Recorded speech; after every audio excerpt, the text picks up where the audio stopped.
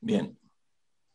El Pixie Sign LE es el precursor del programa que se utiliza ahora por todos los astrofotógrafos eh, amateurs y no amateurs. En los observatorios también se utiliza, en los eh, observatorios profesionales, pues para, pues para hacer los trabajos de, astronomía, para reducir las imágenes, para limpiarlas, para reducir el ruido y luego para conseguir una astrofoto bella. Si, si, vas a hacer ciencia no necesitas hacerla bonita, sino que solamente te quedas con los datos y se, y se. Pero hasta que se llegó a ese programa, que ahora vale 200 y pico euros, casi 300, eh, hubo una temporada en la que se trabajaba con un programa gratuito que todo el mundo lo utilizábamos y dábamos nuestras opiniones y eso, eso hizo crecer al programa. Eh, yo os mandé un, un, RAR en el que hay dos ficheros, este y este. Los dejo ahí. Entonces, estos dos ficheros, esto es otra cosa. Estos dos ficheros que hay aquí, para instalarlos, como casi todo, es este, es el setup de, instalación, el PC Sign LE23 eh, es, es el que hay que instalar en primer lugar. Y después tenemos una ampliación, que es este.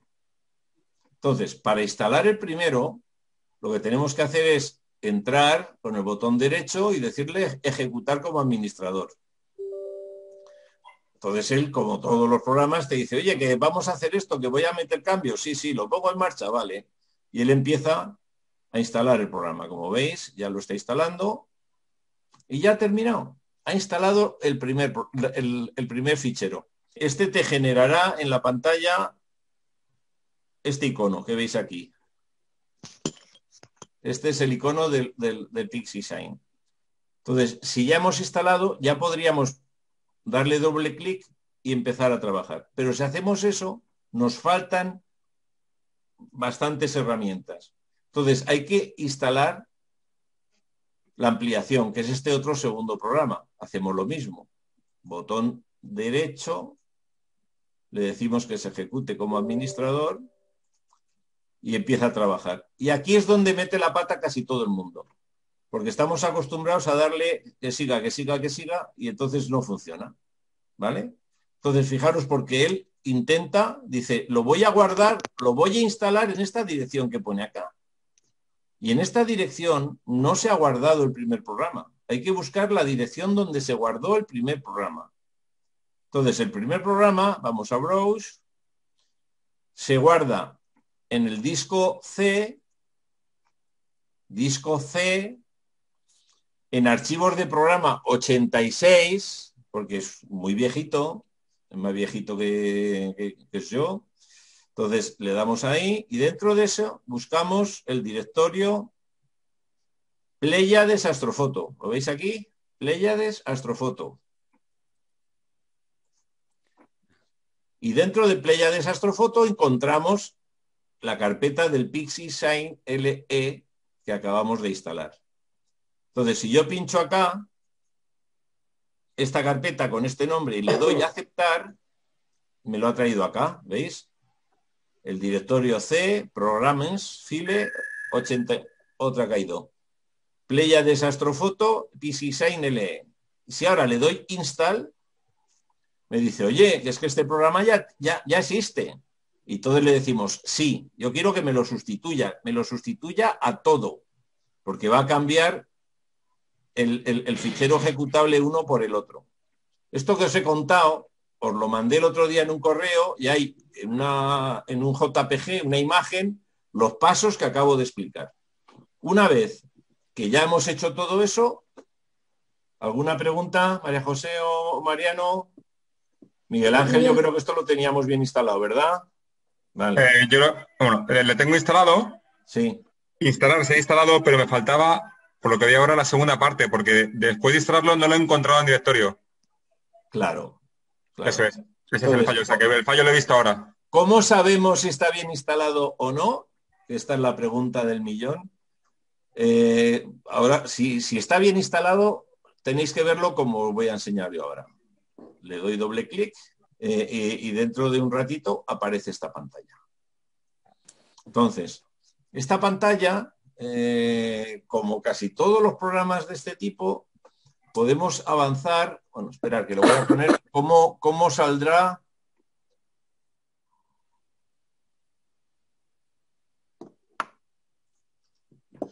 La primera vez que lo, que lo instaláis os sale así, desnudito. ¿eh? Esta es la mesa de trabajo. Y como casi todos los programas, tenemos unos números, unas letras aquí arriba que son los menús. Y son los menús típicos.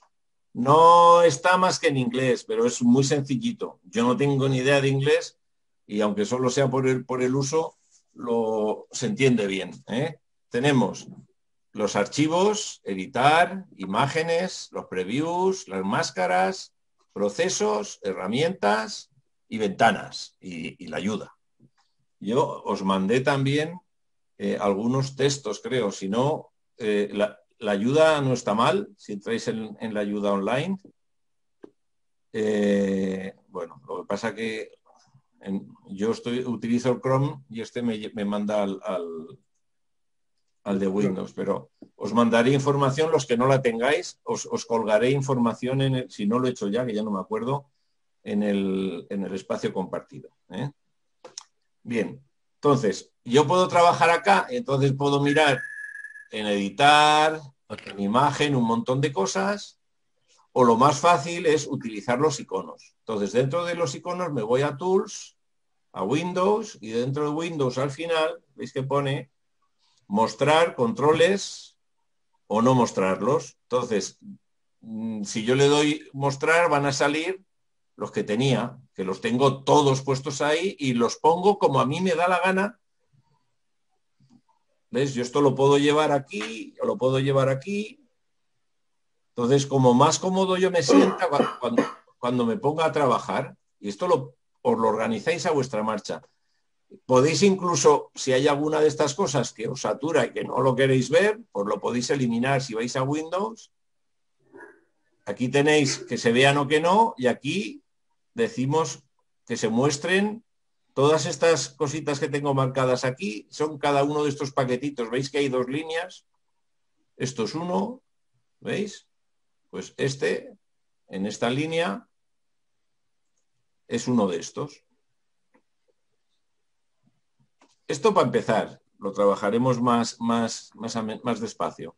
Yo lo que quería hoy ver es lo que vimos el otro día con un poquito más de tranquilidad. La idea es qué pasos básicos tenemos que dar para poder procesar una imagen.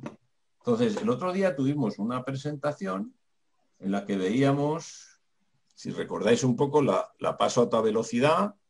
Decíamos, estos son los pasos, eh, recordábamos que antes de empezar a, procesar teníamos que mejorar la imagen quitándoles los defectos de iluminación, los DAR, los LAT, todo aquello que veíamos y daremos estos pasos. Y entonces vimos como una imagen podía ir cambiando. Vale. Pues esto que vimos aquí, quiero que, lo hagamos juntos y que tengamos presente eh, esta, esta imagen.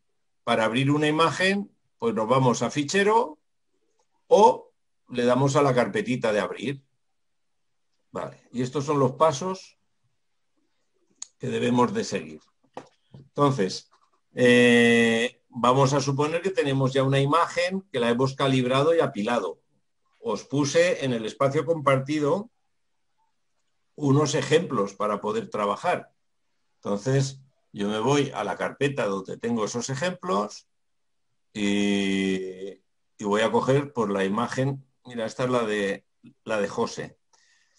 Este programa trabaja solo con imágenes TIFF, BMP o JPG. Fijaros, si yo le doy aquí, me dice qué tipos de archivos abre. TIFF, FIT, que son, son todos RAW, o, o el JPG. Ya os dije que el JPG es solo para jugar. Tenemos que abrir archivos que sean RAW. Entonces, cuando hagamos el calibrado y el ajuste con los programas que sean, lo que hacíamos el otro día con el C4, ¿recordáis? Hay que guardarlos como archivos TIFF o FIT para que luego lo podamos abrir con este programa. Entonces, suponiendo que ya lo hemos hecho, si no revisáis la clase del día anterior, os recuerdo que todas las clases están colgadas en mi YouTube, que os he pasado los, las direcciones. Abro la imagen, doble clic o un clic aquí y un abrir acá y ya está aquí la imagen. Eh, sale muy oscurita porque es un fichero RAW y aún así aún se ve bastante porque esta, si recordáis, la hicimos con el, con el C4. El C4 nos la prepara bastante. ¿eh? Entonces, abrimos la imagen máster, primer punto. Segundo punto, balance de blancos. El balance de blancos, aunque la cosa luego es mucho más complicado, pero para andar por casa nos puede valer, es vamos a abrir el histograma, que yo me puedo ir a los procesos y, buscar el histograma en el transfer curves este que hay aquí. Tenemos histogramas y curvas. Estas dos herramientas son de las más importantes que tiene este programa, sobre todo cuando estáis empezando. Entonces, las tengo aquí o las tengo aquí. ¿Veis? Estas dos. Yo me las he puesto aquí porque son las que más usamos. Entonces, cogemos la primera, que son los histogramas, y se abre el histograma. Una vez que se abre el histograma, le tengo que decir con qué imagen va a trabajar. Tener en cuenta que este programa maneja cada cosita que yo abra es como si fuera una calculadora. Es una herramienta aparte. Entonces, este es el histograma y él solo tiene vida propia. Pero para que haga algo tenemos que decirle sobre quién tiene que trabajar. Entonces, aquí en este desplegable ¿Veis aquí abajo? Yo le digo sobre qué imagen voy a trabajar. Si hubiera cinco abiertas, tendría que saber, miraría el nombre de esta imagen, esta es la 01, pues la vengo aquí, la busco y ya está. Y fijaros, de repente me aparecen en pantalla las curvas de luz de los tres canales. Os recuerdo, las fotografías en color son la combinación de tres imágenes en blanco y negro. Uno es la intensidad de luz y los detalles en rojo, la intensidad de luz y los detalles en verde y la intensidad de luz y los detalles en azul. Pero esos son imágenes en blanco y negro que al combinarlas el ordenador es capaz de generar el color. Entonces, esto no lo representa en el histograma. Fijaros, la imagen está muy oscura porque las curvas ¿dónde están? En el lado izquierdo. A la izquierda. Si yo quiero que la imagen esté más clarita, pues tengo que llevarme estas curvas hacia el centro. ¿Cómo me las puedo llevar? Pues esto es un histograma y los histogramas tienen siempre unos, unas barritas para empujar. Entonces, lo normal es tirar de aquí del centro. Yo si tiro hacia la izquierda, fijaros arriba cómo se han ido las, las curvas hacia la derecha.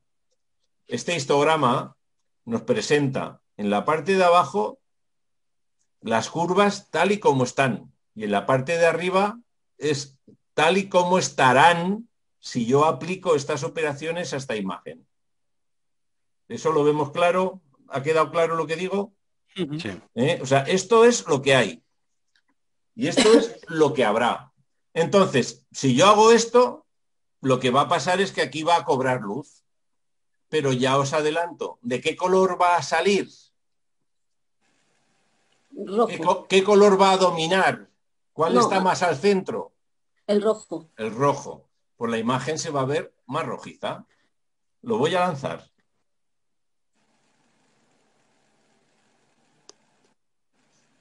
¿Y no le tienes que dar a play solo? ¿Cómo a play? Le has dado a la flechita de la izquierda vale. abajo. Bien, es que esto hay dos formas de, aplicarlo. Eh, ¿Veis este triangulito que hay aquí? Sí, otra ha caído. Este triangulito, si yo lo lanzo a una fotografía, se lo aplica. Vale. ¿Eh? O sea, lo pincho y lo lanzo y, y, lo aplica. Si yo tuviera cuatro fotos, pues tendría que arrastrarlo a las cuatro. Pero también lo puedo hacer aquí. Le puedo decir aplicar. Pero lo mismo que aquí le he tenido que decir sobre qué imagen, en aplicar tendría que darle primero aquí y decirle a esta imagen aplícaselo. Ok. Vale. Entonces, eh, al final es más cómodo lanzarlo tú porque así te aseguras de lo que estás haciendo. ¿eh? Vale. Bien, fijaros, ya lo he lanzado. Y entonces, ahora esta imagen, las curvas de esta imagen ya no son las de arriba, son las de abajo.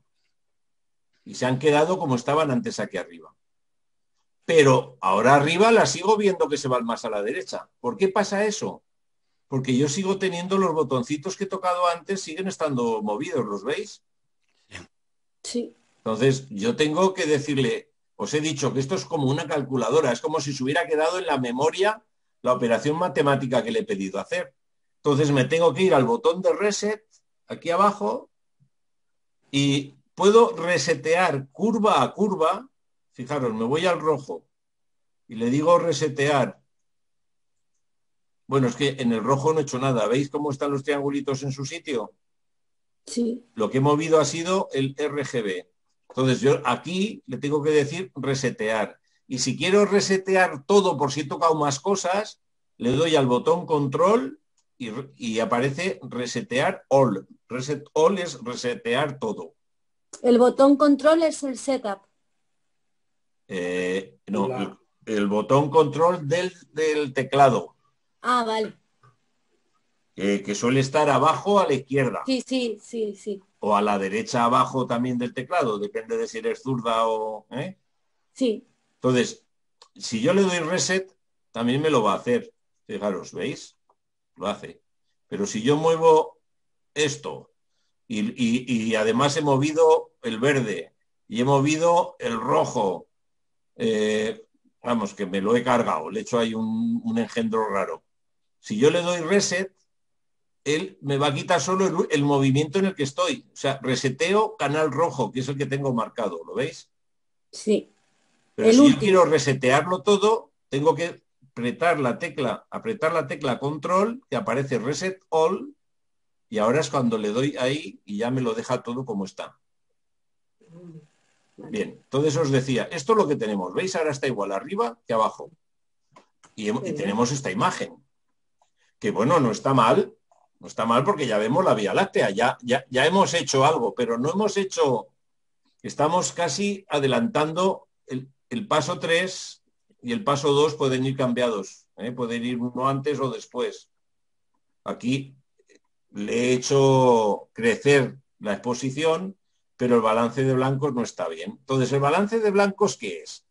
Conseguir que las tres curvas tengan su superficie alineada una con la otra. Básicamente que los piquitos coincidan. Entonces, el rojo está más a la derecha, pues la imagen se está viendo más roja. ¿Cómo puedo llevar la montañita roja con las otras? Pues pincho en el rojo, canal rojo nada más, y ahora le doy a, a- a la teclita esta hacia la derecha para que se vaya a su sitio. ¿Veis ahora? Es muy sensible, ¿eh? pero ahí estaría medio bien. El verde, bueno, de momento lo voy a poner ahí. Y ahora yo lo podría lanzar. Pero hay una forma que nos ayuda más todavía, que es que yo le puedo poner el tiempo real. Este, es- este botoncito hay aquí, él te muestra en la pantalla, en una segunda pantalla, ese cambio que estamos aplicando, qué es lo que va a pasar. Entonces, si Que, se, fijáis- que serviría también el preview. perdón, El preview que está No. la de Apple. no, No. esto es otra cosa. Vale, Esto vale. Ya, ya, ya lo explicaré. Es que el preview, claro, eh, estos son, como dicen en idiomas, las palabras estas enemigas, ¿no? Que, que te recuerdan a una cosa y es otra. Los falsos amigos. Eso es, los falsos amigos. El preview lo que, lo que va a hacer es, en vez de ver toda la imagen entera, vamos a fijarnos en un trocito, ¿sabes? Pero eso Vale. ya, ya, ya lo podemos Vale, ver vale. día. Eso ahora no toca, me quedo con esto. Nada, Fijaros, entonces el preview lo que hace, este tiempo real lo que hace es que vemos lo que va a pasar con lo que estoy proponiendo. Fijaros, aquí lo que hago es que el rojo me lo he llevado para que se pongan alineado. Si yo lo pongo así, pues esto ya parece más natural. Pero Sí. ¿lo veis bien de color o lo veis un poco verdoso? Poco verdoso. Un poco gris. Eh, lo que está pasando, si os fijáis, es que el verde, eh, aquí casi no se ve, pero está un poquito desplazado hacia la derecha. Entonces voy a corregir un poquito el verde. Ahí. Fijaros cómo ahora la imagen ya no se ve ya no se ve eh, verdosa. Está como un poco gris, que decía, pero ya no es verde. Bien. Puedes eh, trabajar con el real time eh, mientras haces los ajustes, por lo que veo, ¿no? Sí, sí, sí, sí, claro. Lo que pasa que esto es el, el, real time, pero la imagen sigue estando así, ¿eh? Ah, tienes que aplicar, lanzarlo. Claro, para que, para que eso sea efectivo, dices, vale, esto sí me gusta, me gusta, vale, pues entonces yo lo lanzo y ahora es cuando lo está aplicando. Ahora ya tengo esto. Pero bueno, ¿qué está pasando ahora? Ay, perdón. ¿Qué está pasando ahora? Lo vuelvo a resetear. Eso. Reseteo y ya.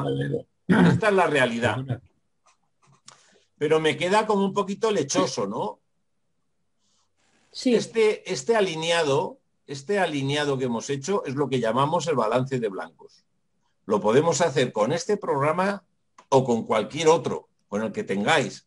Si ponemos las, líneas, las curvas eh, de cada uno de los canales alineado con las otras, más o menos anchas o tal, porque no, todo no es verde, ni rojo, ni azul. Eh, hay, hay, diferencias. Esas diferencias nos las da la altura de los piquitos y la, y la anchura de las curvas. Pero si están alineadas, el blanco es blanco. Y el problema es que aquí apenas hay negro, porque lo hemos puesto tanta luz que el cielo es demasiado claro. Bien, ¿qué es lo que pasa? Que las zonas oscuras, estas zonas oscuras que tenemos aquí, pues está haciendo que el cielo salga con esa claridad. Pero bueno, está bien. Tenemos la curva que no se escapa ni por la izquierda ni por la derecha. ¿Os acordáis que esto lo hablábamos? Sí. Yo podría venir aquí y decirle, mira, y, lo voy a poner en tiempo real para que lo veamos, ¿eh? Esta fotografía ganaría si yo me vengo aquí ahora a, las, a la izquierda, a los negros, y recorto. Me pongo en el RGB para recortar todas. Si yo me voy acá, ¿veis? Ya no tengo los piquitos estos. Esta imagen ahora se ve más de noche, ¿sí o no? Sí. Pero toda esta parte de aquí, esto es señal. Esto es señal y me la he comido, la he cortado. ¿Veis que se ha escapado de la... Del, si, si lo aplico así, todo este trozo de, de la imagen se va fuera.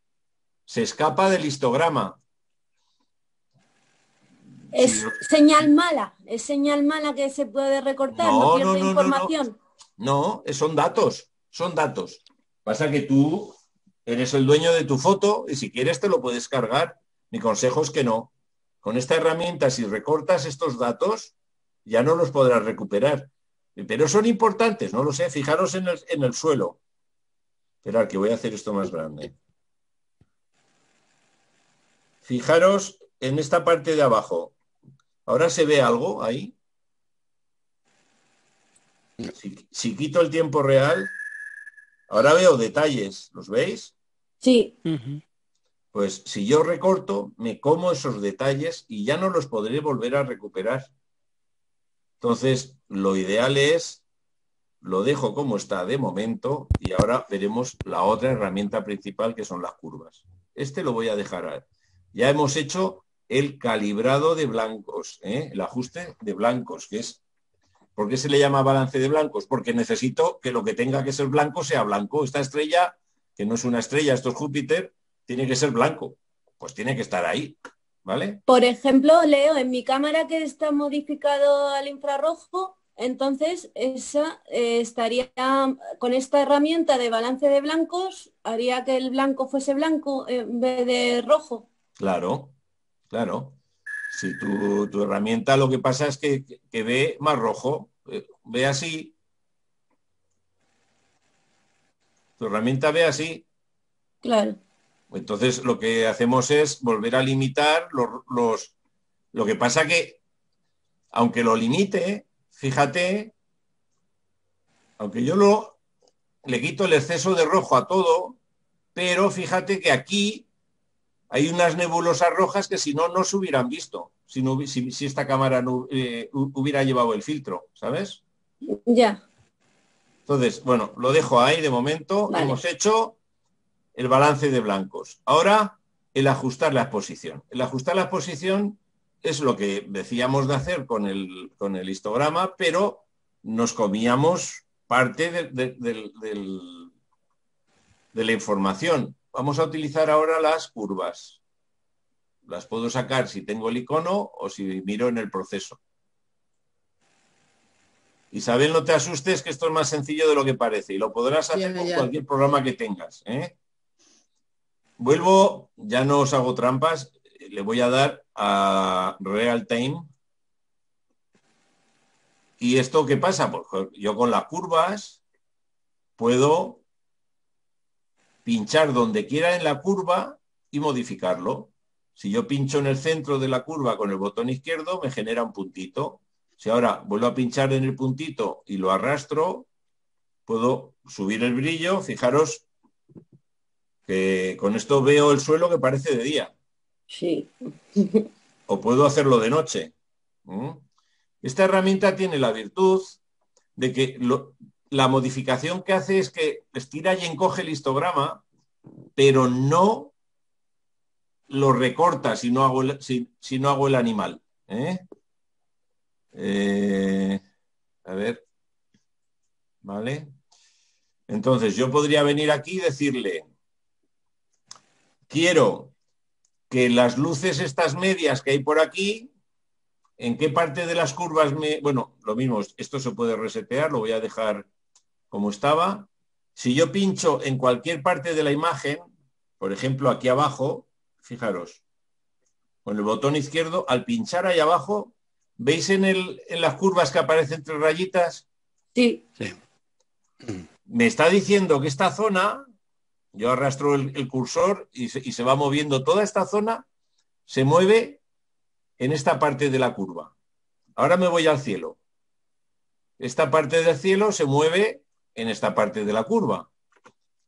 Eh, las estrellas, es, fijaros dónde está. Las zonas claras estarán a la derecha, a las zonas oscuras a la izquierda. ¿Qué tiene de bueno esta herramienta? Que me permite modificar las cosas de manera distinta. Entonces yo cojo y marco aquí un puntito.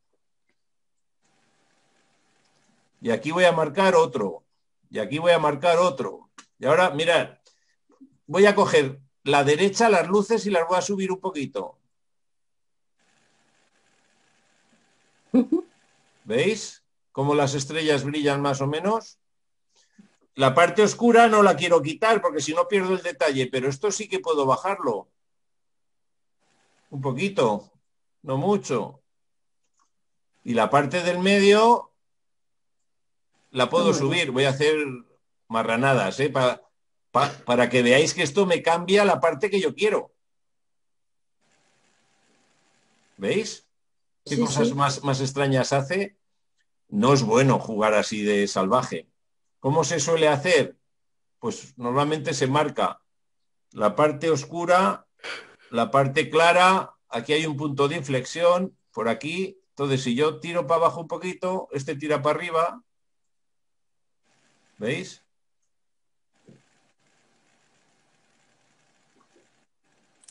Lo, lo- lo oscuro no es muy oscuro, sigue estando más o menos en su sitio, pero he contrastado la Vía Láctea con las curvas. Estamos ajustando la exposición y contrastándola. Vaya fotón, José, ¿eh? Y la está dejando nueva. Bueno, con este podéis empezar a jugar. Esto que acabo de, de enseñaros aquí está hecho con el Pixie Sign. Tenéis que instalarlo. Esto está para nivel medio avanzado. ¿eh? Pero esta es una herramienta que es difícil de conseguir y que yo os la regalo por Navidad, para que la tengáis. Y os aseguro que habrá gente que le encantará que se la podáis pasar. Pues Lo muchas gracias, Leo. Nada, a vosotros. Lo voy a dejar de momento aquí con este programa. Y Co- quiero que ¿Cómo veáis- grabamos, grabamos eso para poder seguir en otro momento? eh, grabáis esto para poder seguir en, en- en otro momento, sí. Como todo, esto, si vais a File y le decís guardar o guardar como. Si le decís guardar, solo machacará lo que hayáis hecho sobre el anterior. Y si le decís guardar como, pues le podéis cambiar un nombre. Este programa, como era de, lo primero que hicieron, tiene el inconveniente de que se come la, memoria a una velocidad importante. Entonces, cada vez que hagáis un cambio en una fotografía y os gusta el cambio que habéis hecho, tenéis que ir a fichero y guardar.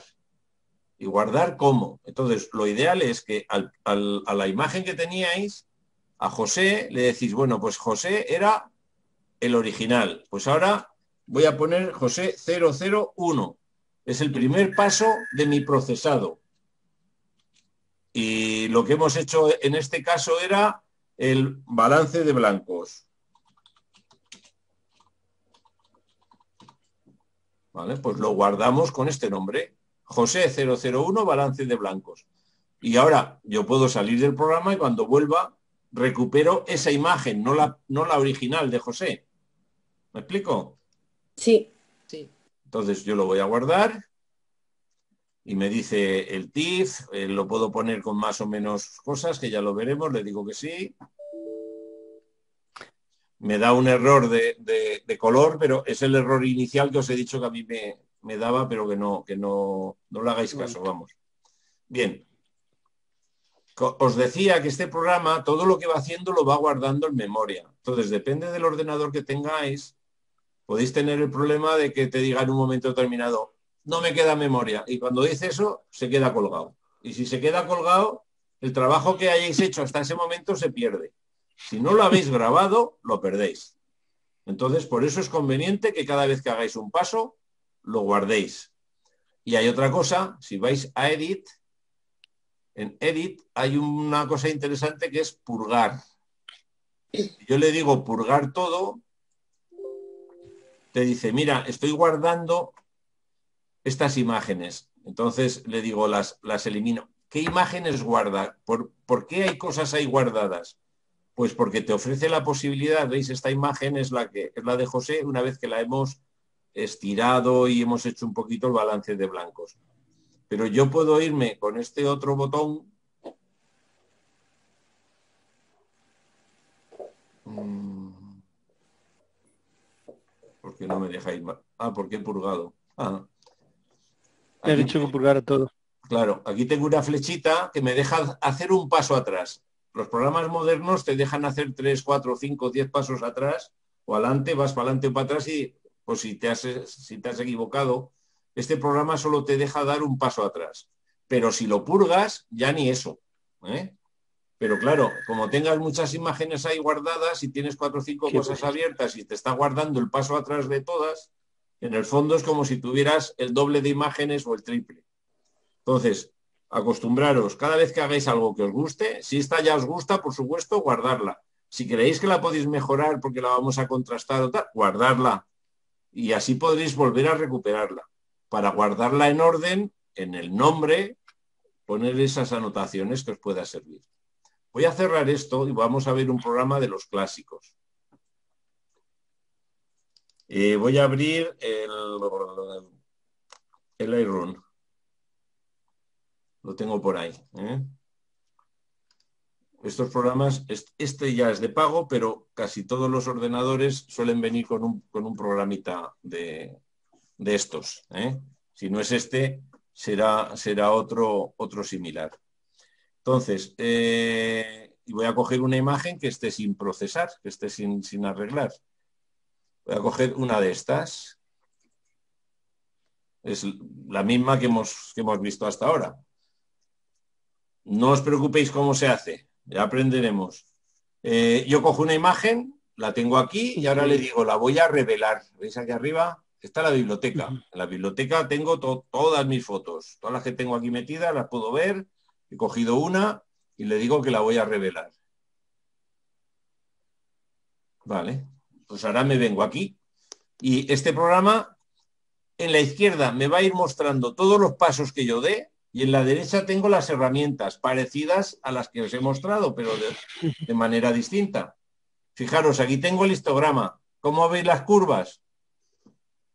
¿Están, ¿Están bien alineadas o, o- o no? No, No, no. No. Bueno, pues hay que alinearlas. Entonces yo las podría alinear moviendo esto. Hoy va, así la pongo más roja, así la pongo más azul, así la pongo, o, este otro, ¿veis? Las puedo ir tocando. Eh, en fotografía se maneja la temperatura y el matiz. Pero hay otra cosa más sencilla.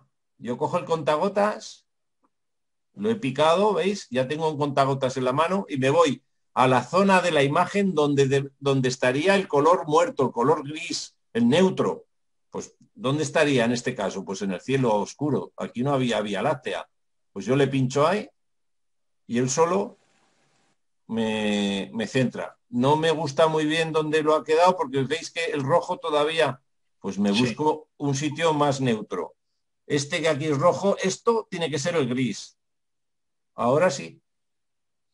O no, porque veis el azul me ha quedado un poquito que se sale. Pues ahora me voy y le quito azul.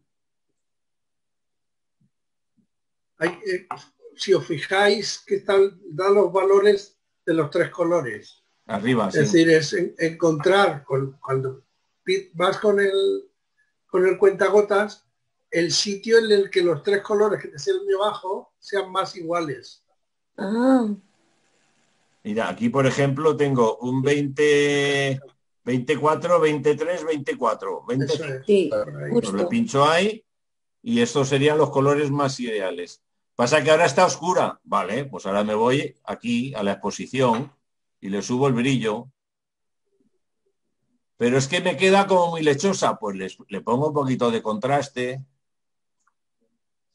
Y quiero que las sombras sean más, pues bajo las sombras y subo los blancos y bajo los negros.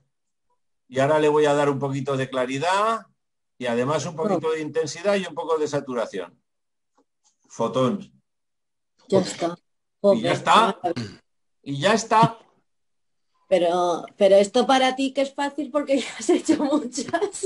Eh, Bien. Porque eso de que estos últimos pasos, pim pam, pim pam, Que sí, María José, pero todo lo que hemos hecho está aquí. Sí. sí, sí. ¿eh? Todo La- lo que la- hemos hecho está aquí. ¿La foto no queda así como con mucho ruido? Sí, claro, bueno, pues es que ahora, ¿qué quieres ya, ruido? Pues nos vamos a esta pestaña de detalle y le decimos que vamos a reducir el ruido. ¿Así te gusta más? Uy, me he pasado, ahora está pastelosa. Pues le quito un poquito de ahí. ¿Te gusta más ahí? Venga, eh, pasa, pasa el aprobado. Bien, seguimos. quiero deciros que las herramientas nos hacen el trabajo. Entonces, sí que tiene la cosa de que hay que, hay que buscarlo. Eh, con el doble clic me acerco, ¿ves? Y, y puedo acercarme más si quiero, pero claro, Casi esto, si, si aprendemos, la cosa es larga. Fíjate si hay. Entonces, yo puedo venir aquí y decirle, mira, le voy a quitar ruido. Pues le quito ruido de luminancia. Veis que ese granulado desaparece, pero el, el- el detalle lo quiero mantener. ¿Eh? Entonces tengo que mantener el detalle. Le voy a dar un poquito de contraste. Eh, hay ruidos de, de color. Lo que pasa que esto, si lo veo de cerca, digo, así está mejor, pero ahora al alejarme eh, con el clic, si me, si me he pasado, quedará como muy pasteloso. Entonces hay que buscar un punto medio que nos, que nos, que nos valga. Fijaros, el suelo ahora no veo nada. ¿Qué ha pasado? Pues que me he pasado, que es que le he dicho que las sombras las he puesto a cero. Fijaros, si yo quiero ver el suelo, subo las sombras. ¿Veis el suelo? Sí, El, el cielo apenas ha cambiado. Eh, si estábamos, pues, pues bajo los blancos un poquito, o las, o las altas luces las bajo un poquito. En fin, jugando con estos deslizadores, estos programas son mucho más sencillos pues para dejar una foto como te guste. El primero que os he enseñado es mucho más técnico. Estos son pues más para, pues para manejar fotos, sencillamente. Preguntas. Increíble. eh, igual, igual el Lightroom que el Camera Raw, ¿no? El de Photoshop. Igual, eso, claro, para los que ya manejáis programas, pues el que más cómodos os sintáis. El Camera Raw, el Photoshop, el, el Gym, el que, el que tengáis. Un programa para editar. Incluso eh, Windows tiene programas eh, gratuitos que están ahí, que son los de las imágenes. Eh, si tenéis que aprender, pues yo os diría, para las fotos que vamos a, a ver en este curso, que son las básicas, las de iniciación, las de los, los las panorámicas y todo eso que hemos estado planteando que vamos a ver, pues el Lightroom va muy bien. No hace falta tener la última versión para, si fuéramos profesionales de la imagen, pero para jugar y hacer tus fotos. Pero lo que yo quería deciros es que se está animando la noche. Sí, sí. Utilicemos lo que utilicemos. El proceso que os he contado es el mismo. Eh, antes en la lista había un paso que era la reducción de ruido. Pues las, todos los programitas van a tener una herramienta parecida a esta, que no solamente reduzco el ruido, que tengo aquí reducción de ruido, es que aquí encima tengo enfoque. Fijaros, y veis, veis la imagen, yo puedo darle a mejorar enfoque. No sé si lo notáis. ¿Cómo cambia de uno a otro? ¿Lo veis? Si es que esto es magia. Esto es magia. Entonces. Y borrar neblina.